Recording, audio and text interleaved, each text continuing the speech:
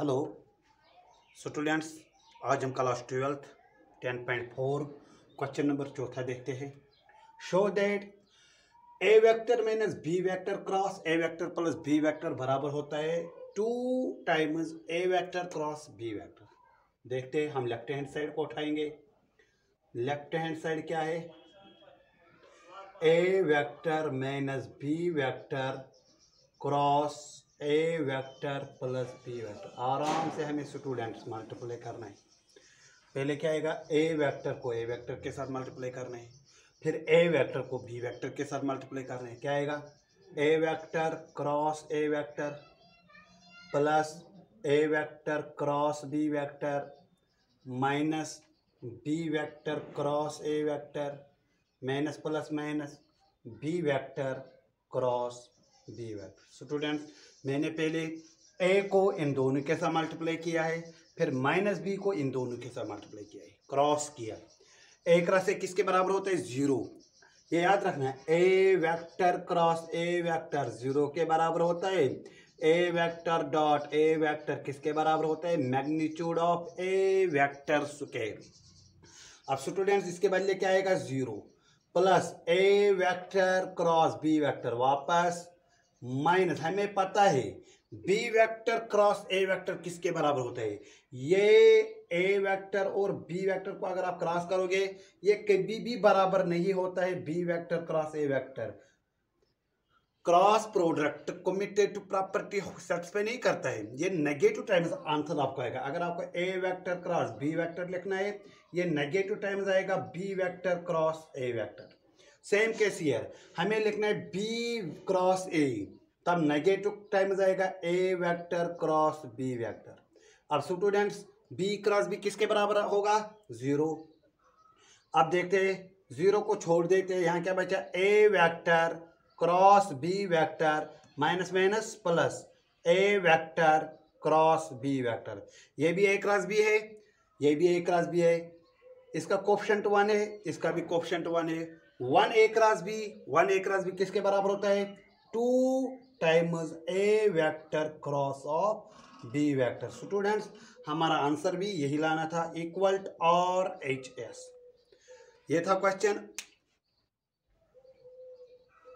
अब स्टूडेंट्स, हम एक और क्वेश्चन देखते हैं।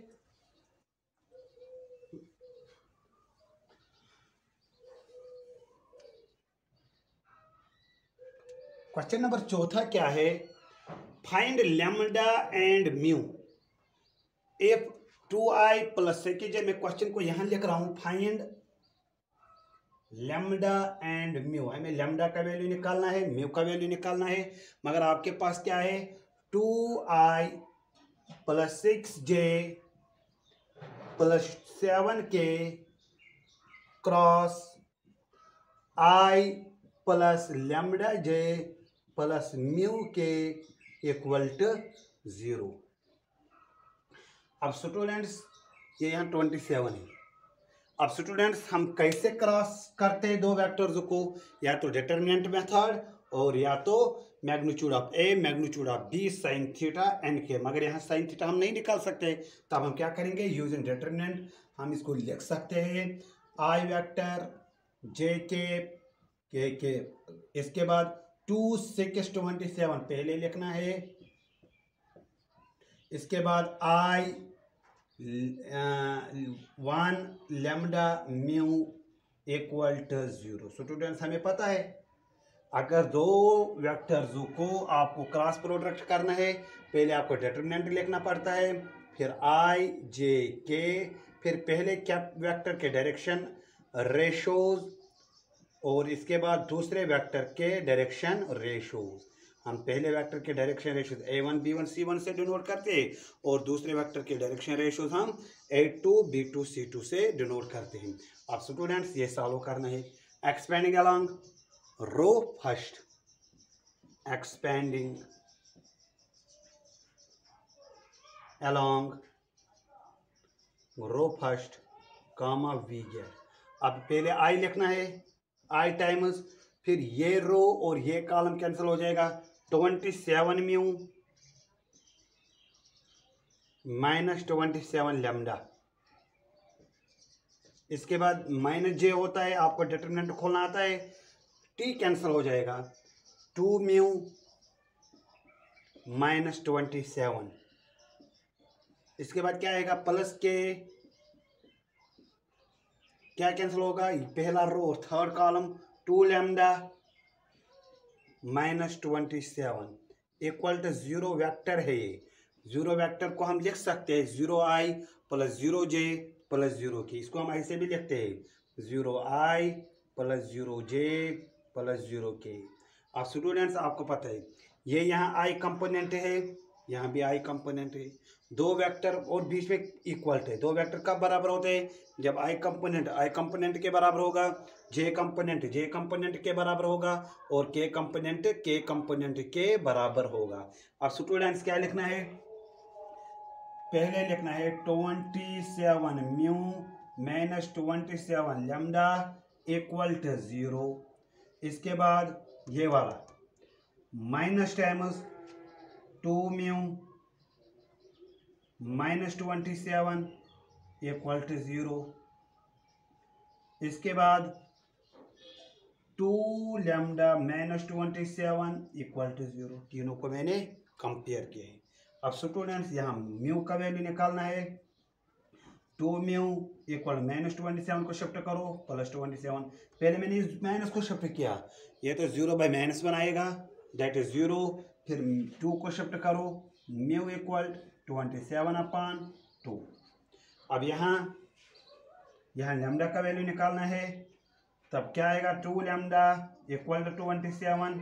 अब लेमडा का वैल्यू क्या आएगा? ट्वेंटी सेवन अपान टू, दोनों का वैल्यू सेम आया। अब स्टूडेंट्स ये था क्वेश्चन नंबर पांचवा अब क्वेश्चन नंबर छठा देखते हैं।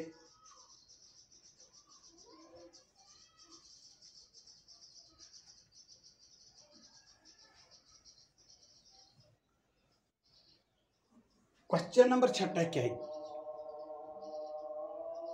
Given A vector dot B vector equal to zero A vector dot B vector equal to zero A vector cross B vector equal to zero A dot B भी zero के बराबर है ए cross b भी किसके बराबर है? Zero के बराबर है.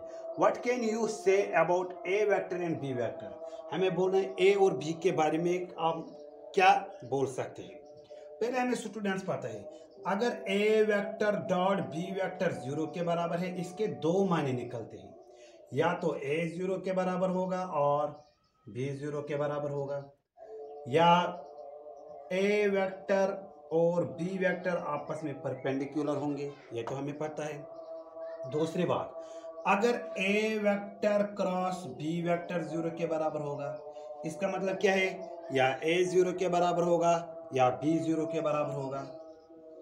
ए इक्वल टू ज़ीरो और बी इक्वल टू ज़ीरो या दूसरी बात क्या है? अगर ए प्लस बी ज़ीरो के बराबर होगा ए और बी आपस में पैरेलल होंगे। ए वेक्टर और बी वेक्टर आपस में पैरेलल होंगे। अब कॉमन बात क्या आई?